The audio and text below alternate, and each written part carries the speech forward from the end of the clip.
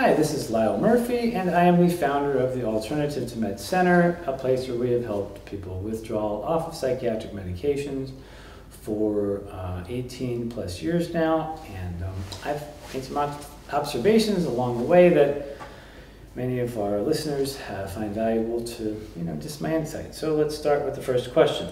What is Depakote for?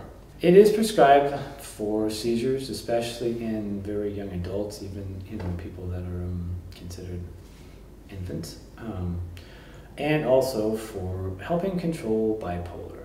Um, and I think we're probably going to get more into like what that means as far as bipolar, um, but uh, I, as someone who works with someone's mental health, I'm generally going to answer questions about Depakote based upon its mental effects rather than a person with a seizure disorder. So if you're expecting these answers to be applicable to you if you have a seizure disorder, I would caution you to um, rethink that because um, for the people coming off of Depakote that are doing it for a mental health reason, the consequences are not generally that, in the realm of consequences, are not generally that severe. However, if you have a seizure disorder, they can be life-threatening. So find another guide for you uh, other than this particular video if you're having a seizure disorder. All right.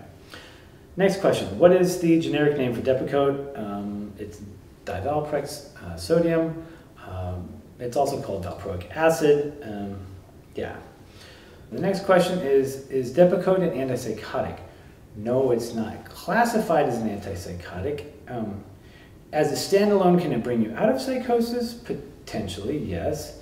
And it's often prescribed along with an antipsychotic to give it that extra, you know, um, it's, it's kind of like, um, it's kind of like the major flood in the dam might be here, right? But there's another crack over here. So it's like, we're going to seal up this crack with an antipsychotic, we're going to seal up this crack with a Depakote, right? So they typically prescribe it along with a, um, with an antipsychotic. Because an antipsychotic is going to block your dopamine, it's going to block this excitatory neurotransmitter that it usually presents itself with psychosis. But Depakote is also, in, in like one of them's decreasing excitatory neurotransmitter, and Depakote's actually increasing an inhibitory neurotransmitter. So it makes sense from a prescribing sense to prescribe them together because you're actually doing the same thing from different parts of the nervous system. You're increasing an inhibitory response and you're decreasing a stimulatory response so that you're fixing the teeter-totter in this direction where it was flying out of control in this direction, if that makes sense. So it's, it's like a it's like you, if your road is going off the car to the left, you're taking it fully over to the right. Um, uh, next question, what is Depakote used for in uh, mental illness? Um, they again, they prescribe it as an adjunct to someone that's had psychosis, but um, if you were creating a diagnosis, you're a prescriber, you're creating a diagnosis that Depakote fits, it probably would be in the bipolar, you know, one or two category that you would actually prescribe that medication for someone and not have it in conjunction with another medication. Next question, what are the side effects of Depakote? It's gonna make you sleepy, it's gonna make you you know, you're gonna your digestion's gonna be messed up. You may be lethargic. You may um, it's meant to slow you down, so you're gonna feel slowed down and your sexual expression and your and your um, but you're gonna probably want to eat more at some point. It's gonna actually make your digestion, you know, if you're gonna be have more hunger and appetite and things, but it might make you nauseous in the first place. But then you overcome that, you probably want to eat more. Uh, next question: How long do the effects of Depakote withdrawal last? Usually not that long. It depends on who you are. If you're withdrawing from a medication and what you're calling withdrawal effects are continuing into the, um, into the protracted area, what they call protracted withdrawal, there's a strong chance it's not actually because of the medication you're feeling that. You may have accumulated neurotoxins in your nervous system that are affecting your nervous system in a very profound way that that medication is no longer um, buffering you from, and it's kind of like you took a glove off and you're still getting a fastball pitched at your hand. I mean, it is hurting because of how thick the glove was, right? But the, the pitcher's still pitching a ball that's too fast to catch, you know what I mean? It's, it's like there's another angle to this, to the way the nervous system is working. And some people think that, oh, you know, if I just don't do the medication and I hold out long enough, I'll, I don't know, build up calluses on your hand or something that's going to catch a 100 mile an hour fastball. That's generally not a good way to go about it. The, you got to get the pitcher to pitch a slower ball. So if you're going into protracted withdrawal, you might want to think about neurotoxicity.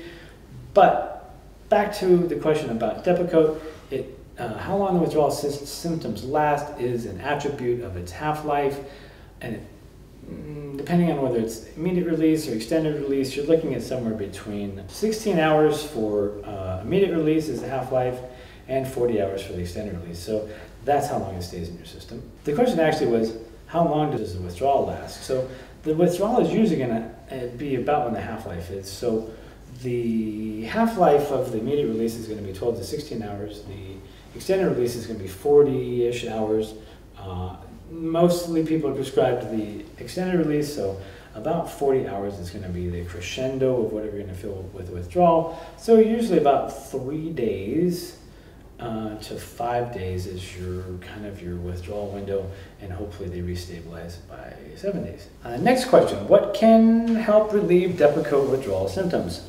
Okay, so Depakote is is like um, GABA, right? You're basically making GABA a naturally occurring neurotransmitter, uh, either more effective by expressing it more or increasing the amount. In this case, it's helping with the permeability and the expression of GABA it's like stepping on the accelerator that uses up gas, but you're actually stepping on the brake that's using up brake fluid, if that makes sense. You'll eventually run out of the brake fluid, you know, because you're this is how the system works, if you're not putting brake fluid back into it. So to relieve the withdrawal symptoms, you want to put the brake fluid back into the, the what do they call it, master cylinder. Um, and ways to do that is you start taking GABA and at the same time you're withdrawing. You take GABA at the same time you're withdrawing, so you're lifting up your GABA while you're taking away a drug that was um, um, accentuating the effect of GABA, naturally occurring GABA supplement. Um, and um, for some people, that might actually be taking gabapentin. To, to just depending on how severe of a withdrawal they're having off of Depakote, maybe they take gabapentin and then they get off of gabapentin. They use gabapentin as a bridge medication. But also, um, another way you can help mitigate this from a very, uh, what do they call it, gross standpoint, where it's not very um, granular, it's, it's big bouldery-like perspective. Like you, the most stimulatory neurotransmitter of your nervous system is going to be glutamate, right? So if you're coming off something that was directly blocking glutamate, which is what GABA does, right? You've got this strong neurotransmitter that's glutamate, it's pushing excitatory down your nervous system. And the safety valve for that is GABA, that makes you not have depolarization in that nerve. I know I'm losing a few people, but basically, um, you want to increase the GABA so that you're not having um, the symptoms, and you want to decrease the glutamate so you're not having symptoms. So you don't want to be eating your wife's Korean food with MSG or whatever. You know, you want to eliminate glutamate-containing foods uh, look up on the internet, please, what those, those are. I'm not going to spend the time to go through all of glutamate-containing foods, but reduce the amount of glutamate-containing foods in your diet, um, and you know, stay away from other things that might have stimulatory things in it, like aspartame. Yeah, glutamate-containing foods, eliminating that from your diet is going to help. And um, next question: How do you taper or wean off Depakote? Okay, uh, like from a numerological standpoint uh, is prescribed at very high doses, right? So it can be like 2,000 milligrams, and if you're 2,000 milligrams, you can usually be more adventurous on the higher end than you are with the lower end a right? So you, you, you know, you can fly down the stairs like this, but then you hit the ground and you got to, you know, so you go two, 2,000, 1,500, 1,000, 500, you know, you drop 500 all along, and then you go from 500 to 250. You know, you, you just take that last one in that little half step. That's probably the preferred way. Um, next question, how long does Depakote stay in your system? We already went through that question um, as it relates to the half-life. It stays in your system for a while, but if you're on the extended release, it's 40 hours is the half-life, and then there's a mathematical logarithm for how long it would stay in your system in total after that, but um, generally when people say how long does it stay in your system, they're talking about when is it going to stop affecting you? And usually it's about day three to day five. You're going to get enough of that washed out. We're going to see what life is like without that. But you're also going to have to adapt to what life is like without that. So um, that could take weeks. That could take you know a lot more than whatever the half life of the drug is. And last question: How do you stop taking Depakote? Um, just throw it out the window while you're driving down the freeway. I'm kidding. No. So uh, we went through that. It depends on how much Depakote you're on and what you're taking it for. If you're taking it for a seizure, please don't follow my advice. I'm not even wanting to. I don't even. I mean, I, I could help a patient like that if they're a patient with me and we were talking about it, but the, that, the topic of this conversation is you've had it prescribed to you for a mental health problem, you're going to come off it because of a mental health problem, and you, you just do it as pragmatically as ever. You know, if you're on 2,000, go to 1,500. If you're on 1,500, go to 1,000.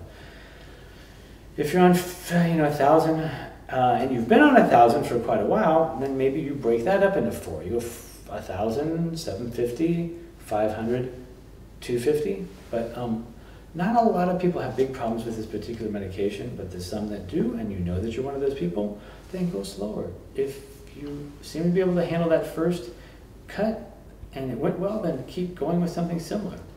And um, that should do it for Depakote. And again, don't change your medications based upon something you've heard here.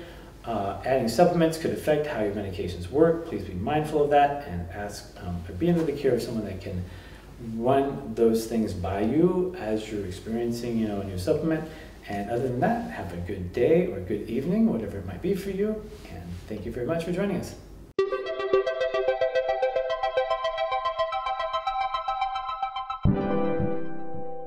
Thank you for watching. Don't forget to subscribe to our channel. For information about Alternative to Meds Center, give us a call at 888 984 9667.